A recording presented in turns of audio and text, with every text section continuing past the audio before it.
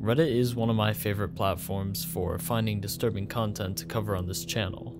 There's an endless supply of disturbing stories among a plethora of subreddits, and sometimes you might just strike gold.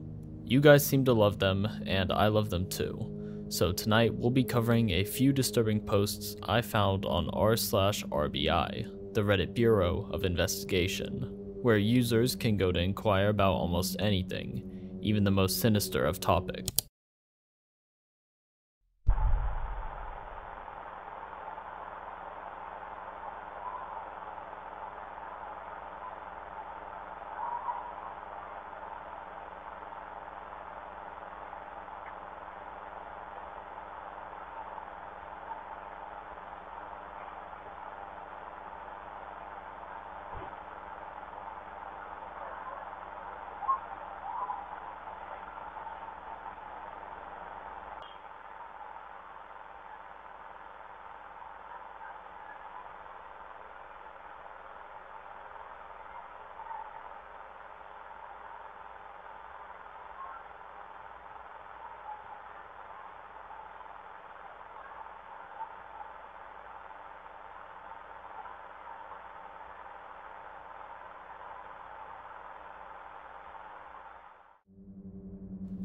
On July 20th, 2021, a post would be made to r slash RBI detailing a scream that the author of the post had captured on their porch camera.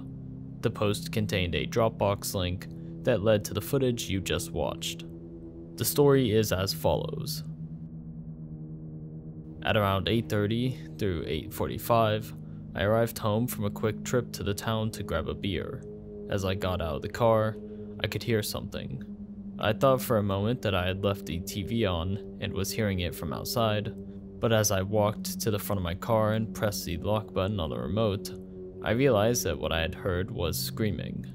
I listened for a second, thinking it was somebody screwing around, but then a woman's voice screamed, No, stop, you're hurting me, you're killing me, and an adult male voice yelling something I couldn't make out. There was a dog barking from the same direction, as well as a repeated thudding noise. I immediately dialed 911 and told the police. They could even hear the screaming in the background. They said they'd send an officer to drive by, but an hour passed and none came. I watched for them on my security cameras. I pulled the footage from the only one that was set to record constantly. The camera on my back door only records when it detects a humanoid shape, so it caught me making the phone call, and a little of the screaming in the background. The backyard camera caught it all, but is unintelligible due to the outdoor AC unit noise. I cleaned up the audio as best I could, but I need advice on how to proceed. I am attaching a Dropbox link to the video. If you watch it, the screaming was coming from directly where the camera is pointed, but more than 50 feet away, across a narrow field. There's a small shack that has a couple of cars, usually parked at the road just on the other side of the field. It is bothering me a lot since I'm 41 years old and have never heard anything so disturbing in real life. Edit. Updates are in the comments. I talked to the police and they wrote down what I said. I showed them the video. They have copies of it. And I said they should do a welfare check. They also told me to drop it and not to trespass or I would be cited. They said they will handle everything, so I guess I'm just going to have to watch the newspapers and see if anything comes up. That's all I can do.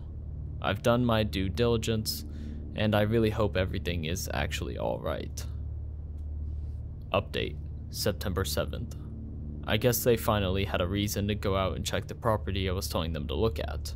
There are sheriff's cars all over the place, and cops in gloves walking in and out of the garage, and one cop throwing up in the front yard.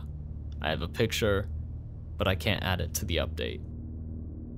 Judging by the title of the post, that being Police Didn't Investigate and It's Been Bothering Me, I can only assume that OP's concerns were not taken seriously by law enforcement. That is, until whatever happened a few months later, on September 7th, and from what OP described, it definitely doesn't sound good. Welp, murder it is. Update, February 6th, 2022. I posted last year about coming home and hearing a female voice screaming for her life. I posted a video with the audio of the scream and got plenty of comments. Around two months later, the house that it was coming from had sheriff's cars all around it. I found out that an elderly man had committed via gunshot, that his son was the only person home, and the person who reported that his father had shot himself. Fast forward to last week, I was sitting at home watching YouTube when I heard gunshots. I live in the country and that's common, so I didn't think anything of it. Turns out, it was the sound of that son murdering his mother. He's trying to claim self-defense, but he's being charged with murder. I live next door and my security cameras caught the audio of the murder. It also captures the vehicle the son made his getaway in. I've had detectives in and out gathering video footage for the past week. They are now looking at him for the murder of his father as well. The case has been reopened, and they have now recognized that my calls and reports were actually real. Two lives could have been saved. Along with this post, OP provides a link to an article written six days prior. These events took place in Highland County, Ohio, and went down exactly as OP had described. Going through OP's post history, I can confirm that the footage does belong to OP and that he does in fact live in Highland County, so I don't doubt OP's story at all. It's terrifying that this happened, and it's unfortunate that the police did not respond to OP's concerns sooner. And tonight, a grim and heartbreaking discovery in Indiana, which led to an arrest in the Bay Area. A five year old boy's body was found in a suitcase in April. But today, Indiana State Police made an arrest in Oakland, a woman with ties to the boy's mother. But the question is where's mom? The next case was brought to my attention by a post made eight months ago, on May 4th, 2022 which details an unidentified five year old boy found dead in a suitcase in Washington County, Indiana. I'm trying to bring more awareness to this case. Please share on all of your platforms if you can. A five year old unidentified black male, approximately 4 feet tall with a slender build and short haircut, was found dead in a Las Vegas themed suitcase in Washington County, Indiana, 7000 block of East Holder Road. An initial autopsy has been performed with no cause of death found. Toxicology reports are pending. No additional details on his appearance were provided, but it was stated that he had died around five days before he was found. Police have no leads on this case and are asking the public for any information. If you know anything or think someone might know something, there's a tip line. I have also created a subreddit for this case and will be updating it as new information is shared. You can find the picture of the actual suitcase in that sub since I cannot add a photo to this post for some reason. Please spread the word. r slash boy in suitcase. Going over to OP's new subreddit, we can find a post made one month later by u slash mercy death, detailing everything known so far about the unidentified boy.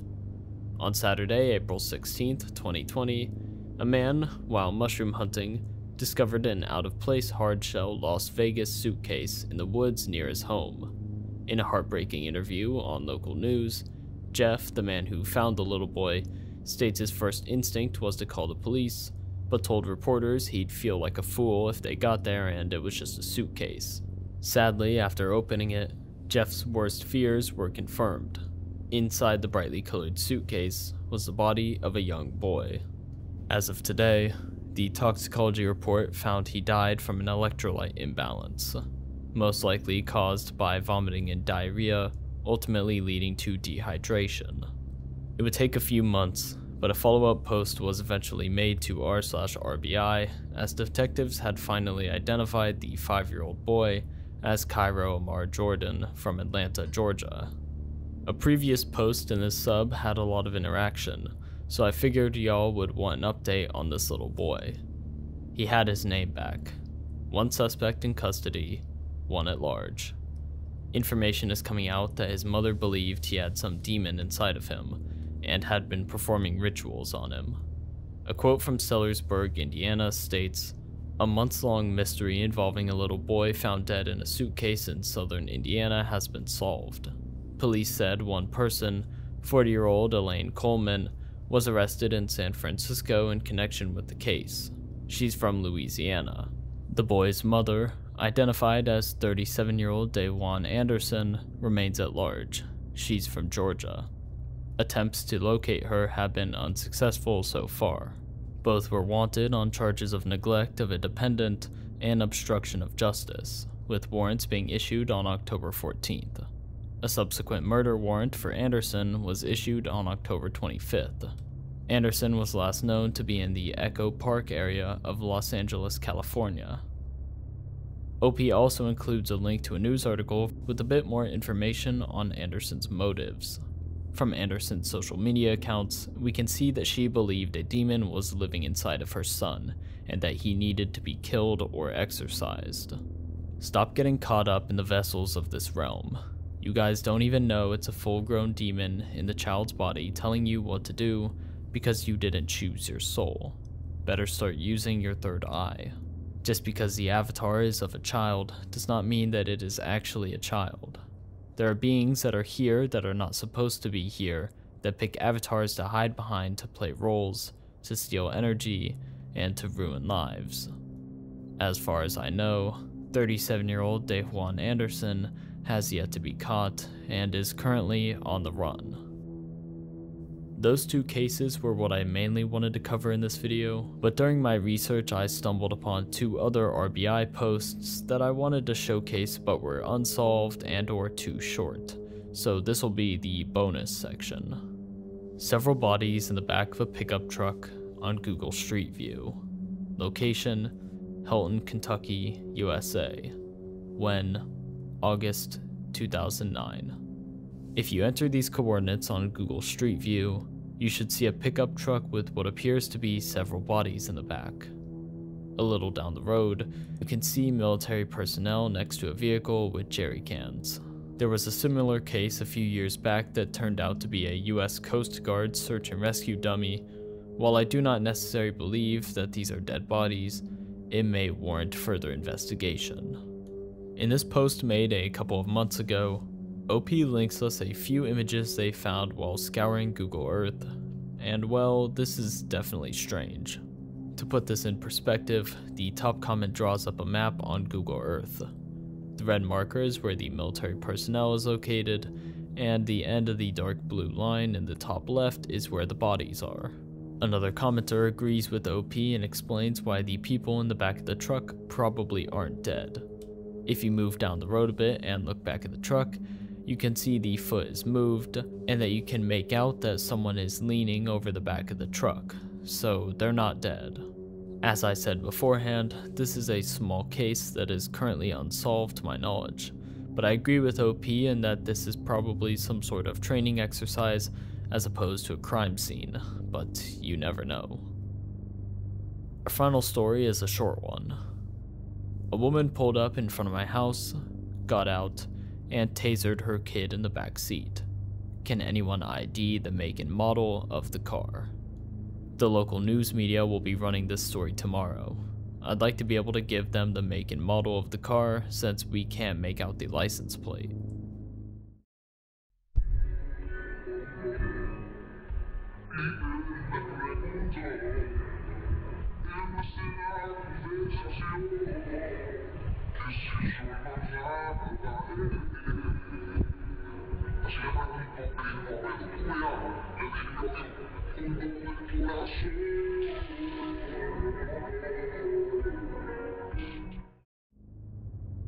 In the video, we can see a red car parked in front of OP's house with two doors open.